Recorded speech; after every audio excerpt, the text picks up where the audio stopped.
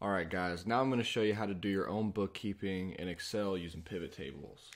So what I've done here is I've gone to my bank's website, I've gone to my business checking account, and I downloaded my bank statement. Um, it'll give you a few options of what file you want. Um, make it a CSV file, a comma separated value. So go, yeah, all you got to do, go to your bank's website, get to your business checking account, download the bank statement as a CSV. Then you go into Excel, click File, File, Open, and then pick that bank statement file, and it'll pop into Excel just like this. And it seems a little intimidating at first, but we're not going to be using all these columns, don't worry. Um, the first thing you should do after that is copy the whole thing copy the whole thing. Come on now. Copy the whole thing over. Control C, Command C, and then copy it to a new one. Uh, that way, in case you ever need to get back to the raw data, um, it's just right there. So just copy into a new sheet. Um, I called mine working data. Yeah, now let's get started into formatting this proper so that we can make a little income statement from a pivot table. So first of all, like I said, we don't need most of these columns. So if you right click um, up here, just press delete. We don't need the transaction number. We do need the posting date. We don't need the effective date. Don't need that. We definitely need the amount. Don't need the check number. Don't need the reference number. Definitely need the description. That's what it's all about. Don't need transaction type. Don't need type. Don't need the balance. Don't need the memo. Mm, don't need extended description either. And then what you can do, see all this is all kind of jammed. If you double click right here, it'll auto format for you. Then what I'm going to do is I'm going to move all this over to the right. So just select all of it. And then on the green line, just drag it over one and then we can reformat so it fits. Now what I'm going to do over here is I'm going to make our own reference number. Just, you know, one, two, three, oh, three.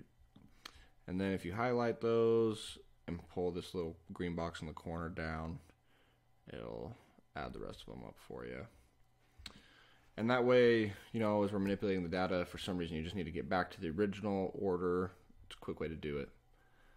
Um, the other thing we're going to do is we are going to add an account column. And that's the column that we're going to use to match uh, these transactions to. Um, in that deductions video, how there was advertising or office supplies, dues and subscriptions, that's where those come in. That's where, you know, we're going to start matching these transactions to what account or what deduction they go to. Um, and then the other thing we're going to do is we're going to highlight the amount column and we're going to move this to the end. We want that right there. You can go ahead and delete that. Okay, now we are all formatted. Well, almost. I also like to change the number format of the amount to the accounting. Looks a lot cleaner. And if you don't know in accounting terms, the parentheses mean money out or a negative. Then from there, we're actually going to sort by amount. Also, if you click up here, it'll highlight all of it. We're going to go right up here to sort and filter. We're going to click this button. And we want to sort from amount from smallest to largest. And what that's going to do for us is it's going to put all of our items of income, all of our deposits, um, if you have checks, um, they'll show up right here. Uh, makes it really easy to start reconciling.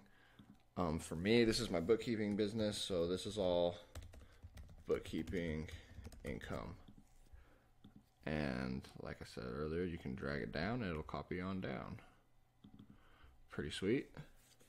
Um, and you could also call that sales or income or whatever. If your business, you know, if you want to track uh, the different ways you make money, maybe it's this income and that income. But Anyway, now up here, Google ad, that would fit under advertising. As well as the one right below it, which is Facebook ad. And then right here, I bought a course off of Gumroad, so we could put that in coaching and education.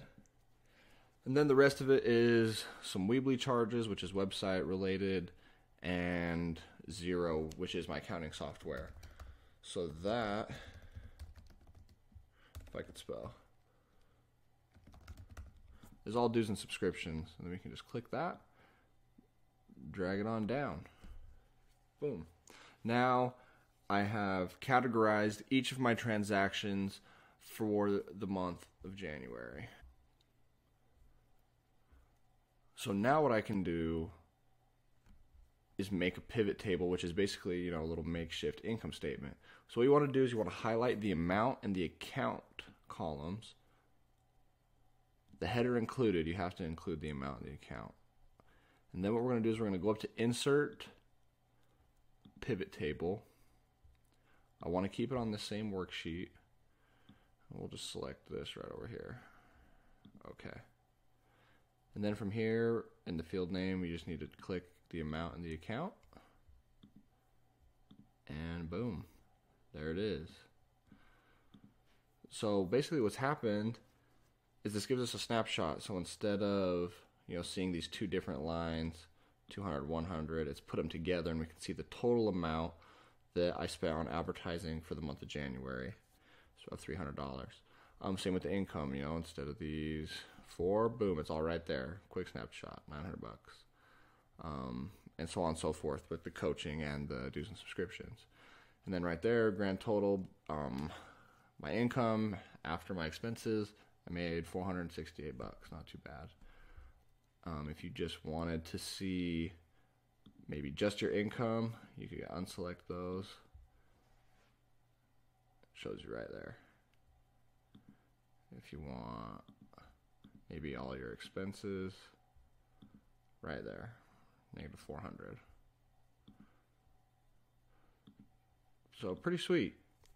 You can get a quick snapshot of how your business did that month pretty quickly. I mean, that only took me, I don't know, five minutes. Um, and as you get better at it and you um, understand how to format it so that you can do it pretty quickly, you know, give you a good, nice little snapshot of how your business is doing. Um, pretty accurate, and then it's easier for you to make decisions. And at the end of the year, your tax person will love you. Um, so there you go. That is how to do bookkeeping with pivot tables in Excel.